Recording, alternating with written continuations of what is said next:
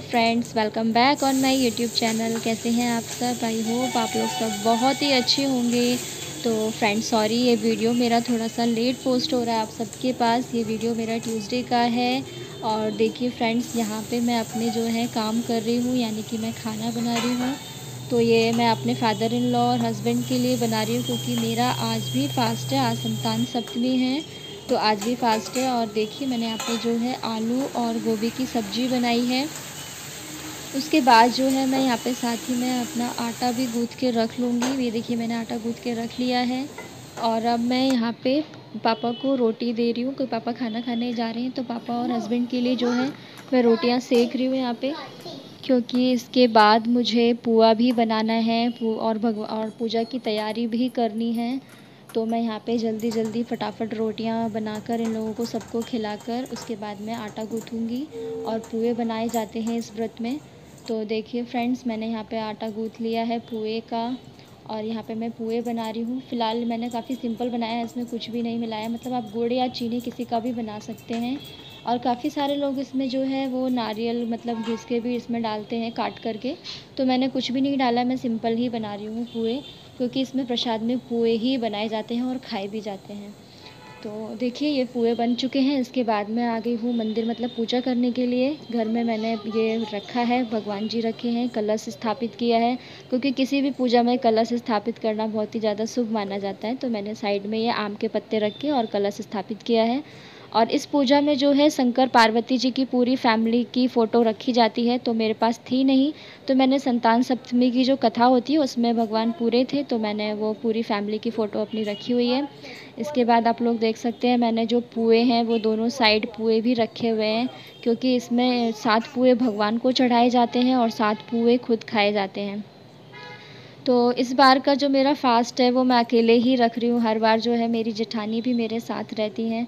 तो पहली बार ऐसा हुआ है कि मैं और वो अलग अलग है मतलब वो मम्मी के साथ वहाँ पे पूजा करेंगी और मैं यहाँ पे अकेले ही कर रही हूँ। काफ़ी सारी मिस्टेक्स भी मुझसे हो रही होंगी, पता नहीं। तो देखिए, मैं यहाँ पे जो है अब कथा पढ़ रही हूँ और कथा पढ़ने के बाद, इसके बाद मैं यहाँ पे आरती करूँगी। देखिए, मैं यहाँ पे आरती कर रही हूँ। मैंने हवन भी कर लिया है। और इस बार बाकी में काफ़ी ज़्यादा बुरा भी लग रहा है दीवी नहीं है और इस व्रत में ना चूड़ी की पूजा होती है, क्योंकि चांदी की चूड़ी बनवाई जाती है इस व्रत में, वो भी नहीं है तो देखिए मैंने कलावा रखा हुआ है। कलावे में जो है सात गांठें बाँध ली थी और उसके बाद इस कलावे को भी मुझे अभी पहनना है, इस कलावे को ही पूजा जाएगा, इसमें तो कलावा मैंने पुए के ऊपर रखा हुआ है। ये देखिए मेरे हस्बैंड जो है मुझे ये कलावा बाँध रहे हैं। तो इसमें सात गांठें लगाई थी मैंने और इसको ही मैंने पूजा करके इसी को पहना है फ़िलहाल चांदी की चूड़ी भी है, लेकिन वो गाँव में है तो वहाँ पे उस चूड़ी की पूजा हो चुकी है। मैं यहाँ पे देखिए, व्रत भी खोल रही हूँ। व्रत के लिए मैंने फ़िलहाल दही दही के साथ में खा रही हूँ, क्योंकि मीठे पुए होते हैं, ऐसे नहीं खाए जाते हैं। तो फ्रेंड्स आप लोगों को मेरी आज की वीडियो कैसी लगी है? आपने देखी है? आई होप आप लोगों को मेरी आज की वीडियो अच्छी लगी होगी तो प्लीज़ लाइक कीजिए और चैनल को सब्सक्राइब कीजिए। जिन्होंने चैनल सब्सक्राइब नहीं किया है, वो लोग प्लीज़ सब्सक्राइब कीजिए चैनल को। और साथ ही साथ नीचे दिए हुए बेल आइकन को भी प्रेस कीजिए, ताकि मेरी आने वाली जो वीडियोस हैं, उसकी नोटिफिकेशन आप लोगों तक पहुँच सके।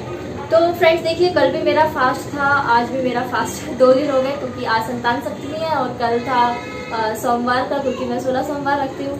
कल भी मीठा खाया था, आज भी मीठा खाया, दो दिन से कंटिन्यू मीठा खा खा के ऐसा लग रहा है, पता नहीं कि मैं नमक कितने टाइम से मैंने खाया ही ना हो। तो फ्रेंड्स आप लोगों को मेरी वीडियोस कैसी लगती है प्लीज़ मुझे ज़रूर बताइए कमेंट करके। और देखिए, मैं जैसी हूँ, जो हूँ, मैं आप लोगों के सामने अपने आप को वैसे ही रिप्रेजेंट कर रही हूँ।